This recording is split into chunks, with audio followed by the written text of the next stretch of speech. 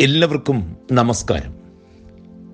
ഒരു മനുഷ്യന്റെ സമ്പത്ത് നിർണയിക്കുന്നത് അയാളുടെ സ്വഭാവമാണെന്ന് അഭിപ്രായപ്പെട്ടത് സൈറസ് ആണ്.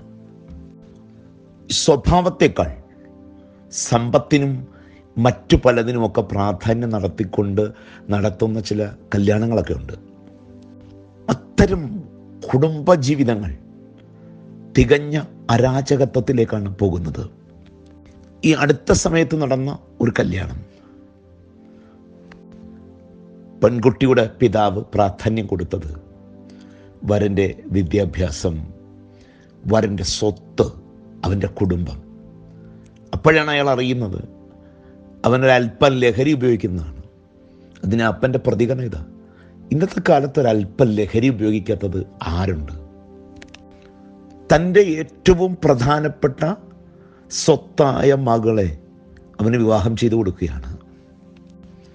മാസങ്ങൾ കഴിയും മുമ്പ്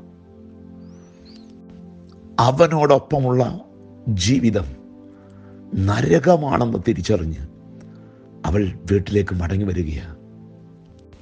സ്വഭാവം നഷ്ടപ്പെട്ടവന്റെ രാജ്യമാണ് നരകം. പല ജീവിതങ്ങളും നരകമാകുന്നതിന്റെ കാരണം സ്വഭാവം നഷ്ടപ്പെടുന്നു എന്നുള്ളതാണ്. ഡ്വൈറ്റ് മൂഡി എന്ന ചിന്തകൻ പറയുന്നു ഞാൻ അറിഞ്ഞിട്ടുള്ള മറ്റു മനുഷ്യരെക്കാൾ എനിക്ക് കൂടുതൽ കുഴപ്പം വരുത്തി വെച്ചത് ഞാൻ തന്നെയാണ്. നമ്മുടെ ജീവിതത്തിൽ വന്നു പോയിട്ടുള്ള കുറവുകളെ നമ്മൾ ഒന്ന് കൗണ്ട് ചെയ്തേ. അതിൽ എഴുപത് ശതമാനവും നമ്മൾ തന്നെ വരുത്തി വെച്ചതല്ലേ? അതിന്റെ ഉത്തരവാദിത്വം മറ്റൊരാൾക്കല്ല. നമ്മുടെ സ്വഭാവത്തിൽ വന്നിട്ടുള്ള വൈകല്യങ്ങളാണ് നമ്മുടെ ജീവിതത്തിലെ കുഴപ്പങ്ങളായി മാറുന്നത്. സ്വഭാവത്തെ സംസ്കരിച്ച് എടുക്കുക എന്നുള്ളതാണ് വിദ്യാഭ്യാസത്തിന്റെ ലക്ഷ്യമെന്ന് അഭിപ്രായപ്പെട്ടത് ഫ്രാൻസിസ് ഡബ്ല്യു പാർക്കറാണ്. നമ്മുടെ കൗതാശിക ജീവിതം നമ്മുടെ വിദ്യാഭ്യാസം നമ്മുടെ വായന ഇവയെല്ലാം നമ്മുടെ സ്വഭാവത്തെ രൂപപ്പെടുത്താനുള്ള വഴികളാണ്. ഒരു പറച്ചിലുണ്ട്. People are interested by talent God is impressed by character നമ്മുടെ ജീവിതത്തിന്റെ പ്രധാനപ്പെട്ട ഒരു ലക്ഷ്യം ദൈവത്തെ പ്രസാദിപ്പിക്കുക എന്നുള്ളതാണ്.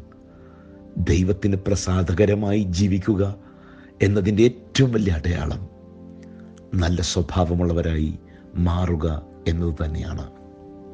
ജെ സി വാട്സ് എന്ന ചിന്തകൻ കുറിക്കുന്നു character is doing the right thing when nobody is looking ആരും നമ്മെ നോക്കാനില്ലാത്തപ്പോഴും നന്മ ചെയ്യുവാനുള്ള ആ ത്വരയാണ് ക്യാരക്ടർ എന്ന് പറയുന്നത്. സ്വഭാവം നഷ്ടപ്പെട്ടവൻ. ലോകത്തിന്റെ കണ്ണു വെട്ടിക്കാനായിട്ട് എപ്പോഴും പരിശ്രമിച്ചുകൊണ്ടേയിരിക്കുന്നു. എന്നാൽ സ്വഭാവമുള്ളവൻ ആരും നോക്കിയില്ലെങ്കിലും അവൻ ധർമ്മവും നീതിയും പ്രവർത്തിക്കുന്നു. നമ്മുടെ പുതിയ തലമുറ മൈഗ്രേറ്റ് ചെയ്യുന്ന ഒരു കാലഘട്ടമാണ്. അത് ഒഴിവാക്കാനൊന്നും പറ്റാത്തതാണ് അത് കാലഘട്ടത്തിന്റെ അനിവാര്യതയാണ്. പക്ഷേ നമ്മുടെ കുഞ്ഞുങ്ങളെ വളർത്തി മറ്റൊരു രാജ്യത്തേക്ക് ജീവിക്കാനായിട്ട് വിടുമ്പോൾ നമ്മൾ ചെയ്യേണ്ട പ്രധാനപ്പെട്ട കാര്യം അവരെ നല്ല സ്വഭാവമുള്ളവരായി രൂപപ്പെടുത്തി വിടുക എന്നുള്ളതാണ്. അങ്ങനെ വിട്ടാൽ അവരെ നമുക്കൊരിക്കലും നഷ്ടമാകയില്ല എന്ന് മാത്രമല്ല ചെല്ലുന്ന ദേശത്തിന് അവർ വലിയ അസറ്റായി തീരുകയും ചെയ്യും. ഒരു ചിന്ത ഇങ്ങനെയാണ്.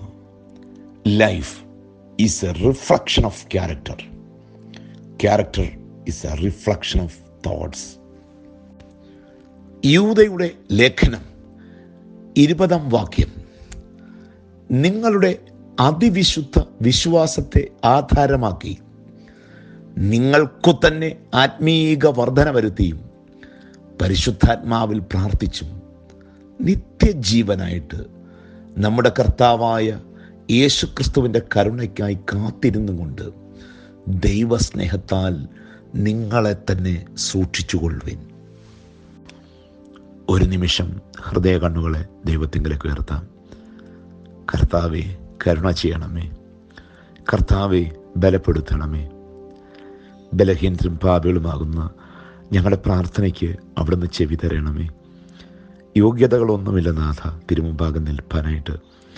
ഈ ജീവിതം ദൈവത്തിന്റെ മഹാദാനമാണ്. ഞങ്ങളുടെ ജീവിതത്തിന്റെ ലക്ഷ്യം ഞങ്ങളുടെ ജീവിതം തന്നെ അങ്ങേക്ക് പ്രസാദമായി സമർപ്പിക്കുക എന്നുള്ളതാണല്ലോ. അതിനായിട്ട് നല്ല സ്വഭാവമുള്ളവരായി ഞങ്ങളെ ഒരുക്കണമെന്ന് പ്രാർത്ഥിക്കുന്നു.